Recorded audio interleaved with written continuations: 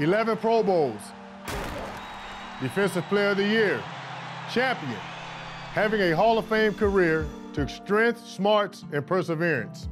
I'm Derrick Brooks. If you ever saw me on the field, you know that I'm no quitter. But there are some quitters that I admire. It takes strength to quit smoking. It takes smarts to know your cancer risk, even after you've put down the cigarettes. And it takes courage to do something about it.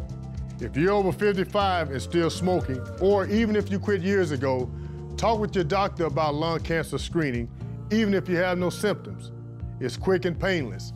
The fact is, lung cancer is the nation's most deadly cancer.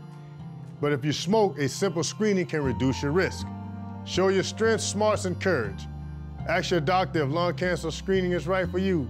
Together, we can be champions over cancer.